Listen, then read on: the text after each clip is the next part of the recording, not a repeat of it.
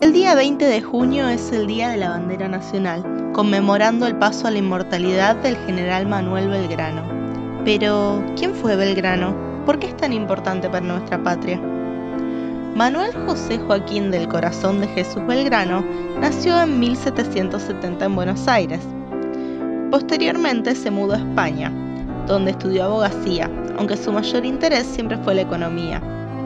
Fue un gran impulsor de la educación, creando escuelas de dibujo, de matemáticas y náutica. En el reglamento que redacta le da derechos igualitarios de educación a los indios, criollos y españoles. En 1806, al enterarse de las invasiones inglesas, tomó la decisión de volverse militar a pesar de que nunca estuvo a favor de la guerra, impulsado por un profundo amor a la tierra que lo vio nacer y a la cual volvió. Fue un destacado periodista. Después de su actuación en el telégrafo mercantil, creó el Correo de Comercio, en el cual se promovió la mejora de la producción, la industria y el comercio Trabajó allí hasta poco antes de la Revolución de Mayo, de la cual fue partícipe.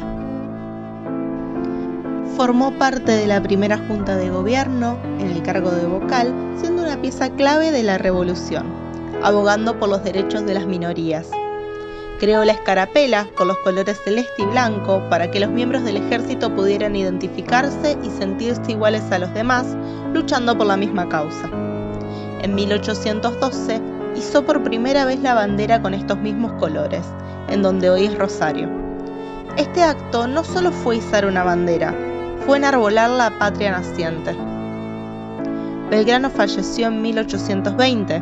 A pesar de provenir de una familia rica, murió en tal pobreza que le pagó al médico que trató su larga enfermedad con su reloj. Dejó toda su fortuna por defender sus ideales marcó su impronta en la educación como poder transformador de la sociedad y en ideas económicas que promueven la equidad social desde el reparto justo de los bienes y las tierras.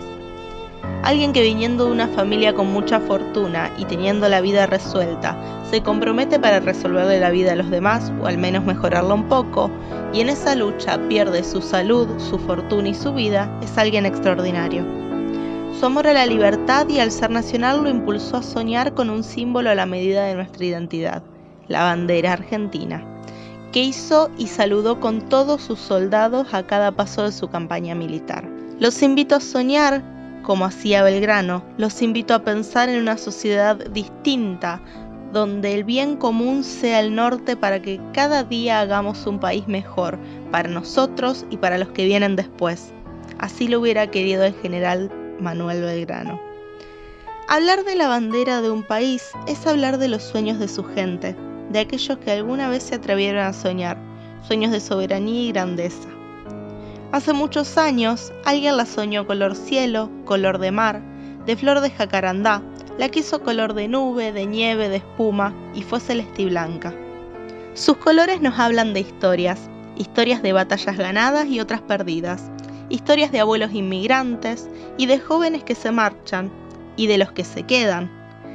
Historias de héroes de carne y hueso que día a día libran una difícil batalla en su lugar de trabajo, en su hogar, en su escuela, atreviéndose a soñar sueños de un futuro mejor.